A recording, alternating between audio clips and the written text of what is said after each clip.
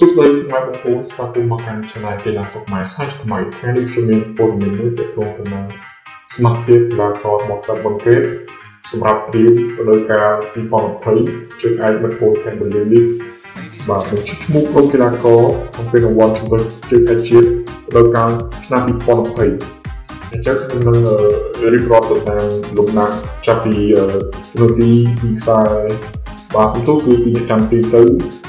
រហូតដល់ខ្សែប្រយុទ្ធបាទក្នុងនោះដែរអ្នកចាំទីគឺមានចំនួន3រូបដែលទី1គឺបានទៅលើកីឡាករហ៊ុយគំហ៊ុយទី2គឺសុមេតដែលពាក់ស្លាកលេខ26ហើយដៃ3គឺពោចាំទីពាក់ស្លាកលេខ24តែគាត់ទៅទៅផ្លាស់មកពីក្លឹបអឺវិជនបាទីខ្សែការពារបាទ Slasen ត្រូវបានពាក់លេខ2 Serosip គឺ3ដដែលពីមហេតក៏ពាក់លេខ4ដដែលដែរ Sinava គឺ5 គឺបានរងលេខ6មករាលេខ15លេខ16គឺទេសសម្បត្តិម៉ែឯកពិតានក្រុមហុងភ័យគឺពាក្យលេខ25ស្រីវិសិទ្ធពាក្យស្លាកលេខ32ហើយ Zobi Gamo Edison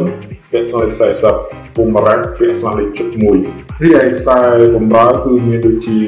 មីស៊ូណូហ៊ីការ៉ូពាក្យស្លាកលេខ7លីមីសានពាក្យលេខ17ពួកឈិនជិនពាក្យលេខ18និងការយ៉ាម៉ាសាទីពាក្យលេខ22សៅវៃទីពាក្យលេខ24 ជា Wesley គេលេខ45គឺពិសាបូរមីដែលជាកីឡាករក្នុងពុយ18លើបានឡើងមកនៅនៅជុំភូមិគឺពាក់សលេខ9នេម៉ូទុស៊ីគឺពាក់សលេខ50សាប្រយុទ្ធយើងគឺមានចំនួនក្នុងនោះគឺកីឡាករវ័យក្មេងស៊ីមន្ធាពាក់សលេខ9បានរុននៅបោះចាំដំណើរការគឺលេខ11របស់គាត់ដែរហើយអោទៅរុនលេខ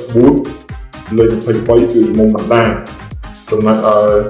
ខ្សែប្រយុទ្ធមួយរូបទៀតដែលចំណុចឲ្យកីឡាករ GBK គឺសាតាណាថេវ៉ាហ្វេនគឺលេខ99ហើយនេះគឺជាស្មារតីរបស់កីឡាករ